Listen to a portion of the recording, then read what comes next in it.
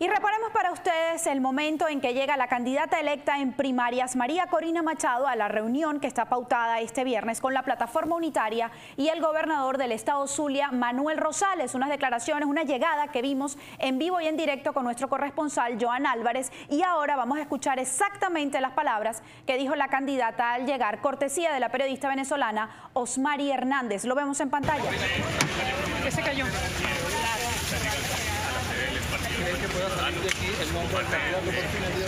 Pero tenemos una gran responsabilidad frente al país y Venezuela sabe que bueno, lo importante es respetar el mandato de todos los venezolanos.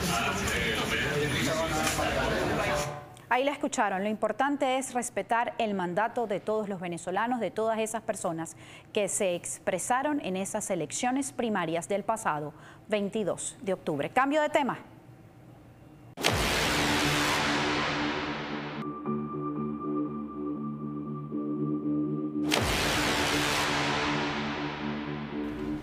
La comunidad internacional permanece expectante ante los ataques entre Irán e Israel y el latente riesgo de una escalada militar en el Medio Oriente. Por su parte, Estados Unidos insta a reducir la tensión a través de la vía diplomática.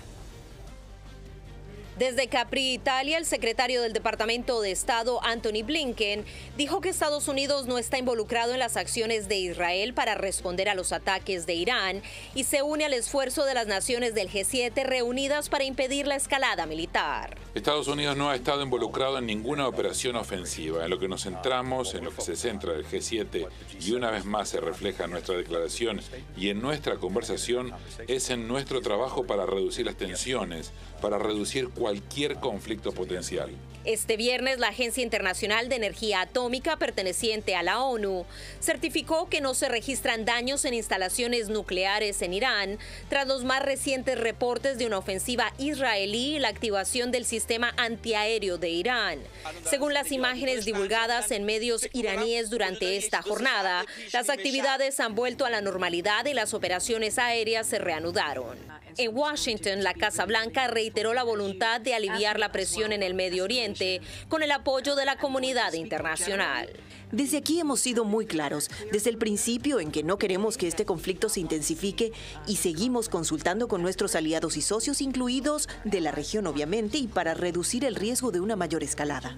Por su parte, el presidente de Irán, Ebrahim Raisi, dijo que la operación sobre Israel ha fortalecido la autoridad de su nación. Esta operación demostró la capacidad de nuestros sistemas defensivos y la voluntad de acero de nuestro pueblo. Mientras en las calles de Teherán, manifestantes marcharon en contra de Israel. Celia Mendoza, Voz de América, Washington. Pausa, ya venimos con más.